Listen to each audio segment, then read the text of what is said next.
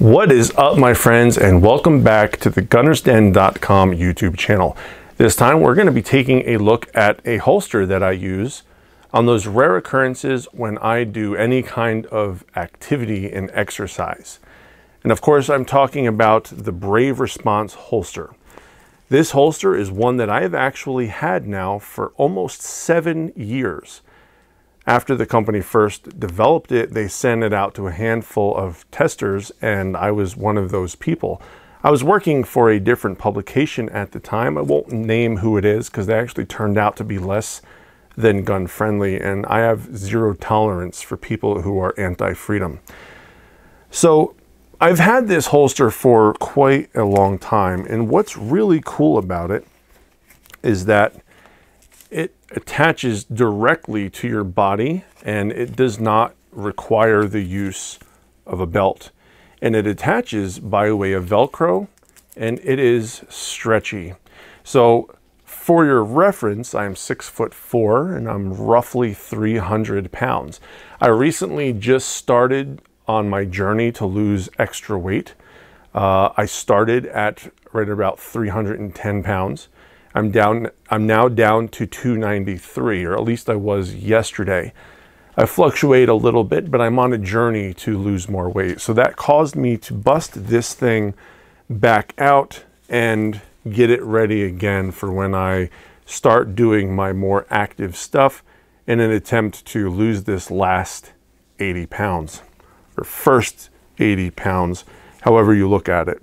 So this thing is really really cool. And because it attaches to your body, again, it doesn't need a belt. So it's got the Velcro, and I'll show you an up close. And I don't want to call it Velcro because it's not actually Velcro. We'll just call it hook and loop. So this is what the hook and loop looks like up close. This is the back of that side.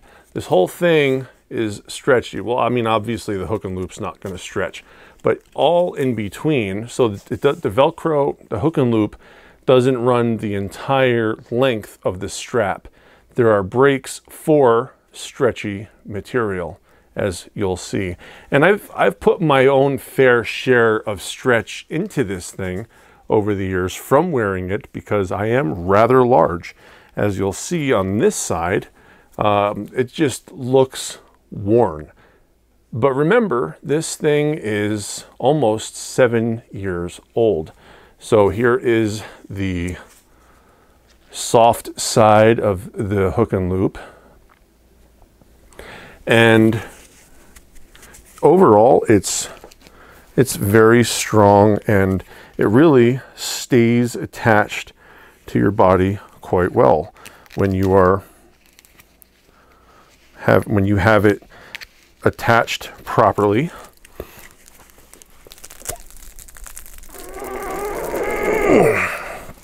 As you can see, it worked. It didn't come apart. Um, and it doesn't go anywhere when you put it on.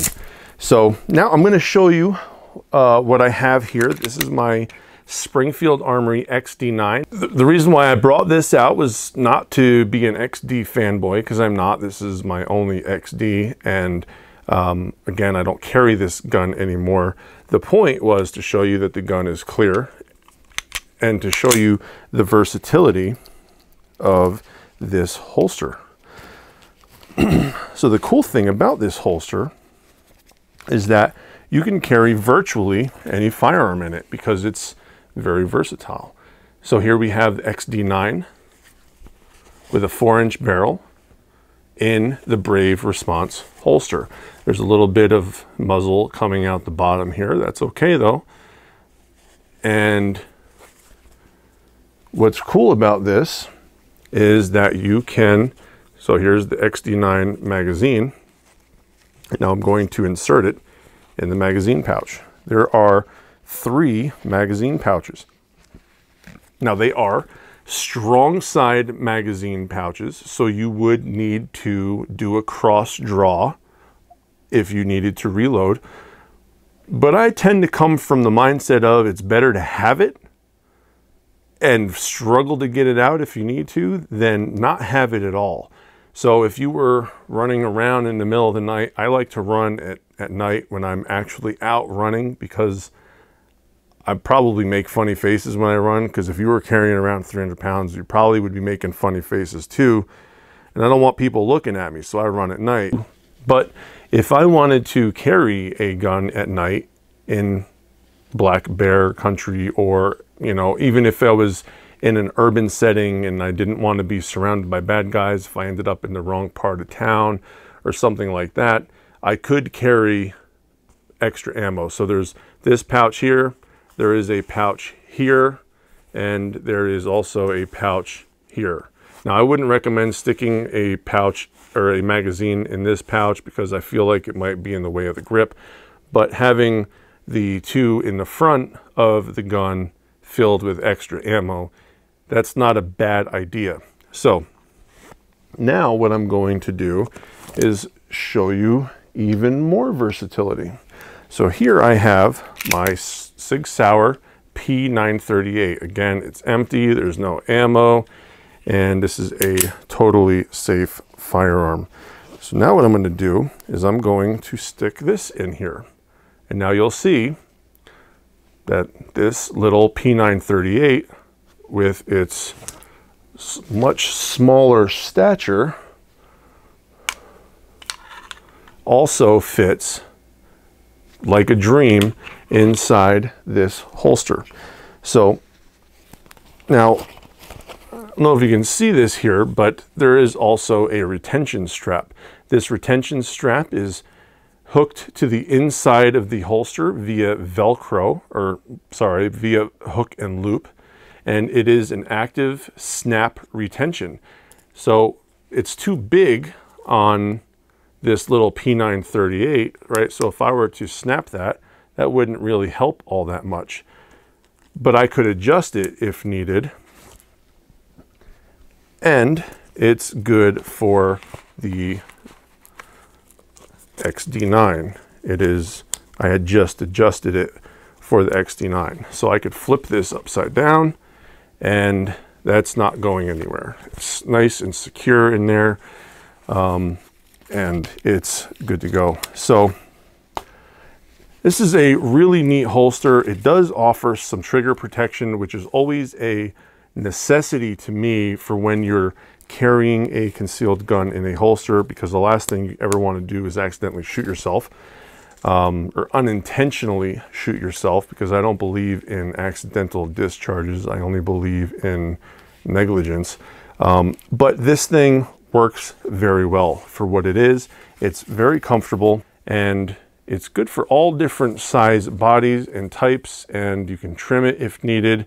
I will say that there is a little bit of an irritant when you first wear it until you have to uh, figure out where you need to adjust this because this hook and loop here, the hard part, is kind of capable of digging into your skin a little bit when it's on your body and um, it, it, it's, it leaves a lot to be desired. But once you know that that's there, you can actually adjust the holster for your body and it works quite well. So I'll leave a link in the description where you can find this thing. Uh, this is available on concealedcarry.com's website. Um, they're good friends of mine. They've taken good care of me and, and you know, for, for many years um, when I was the managing editor over there uh, for the past four years until recently we parted ways. Um, this is a, it's not the most affordable holster. You think looking at this, it's going to be cheaper than what it is. But again, I've had this thing for seven years and it's still holding up just fine, just how you want it.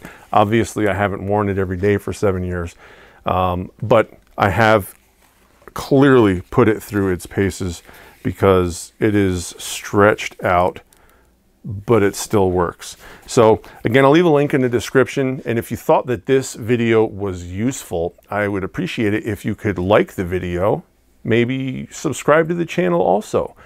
It really helps us out here and uh, all the love we can get really just makes me feel all warm and fuzzy on the inside.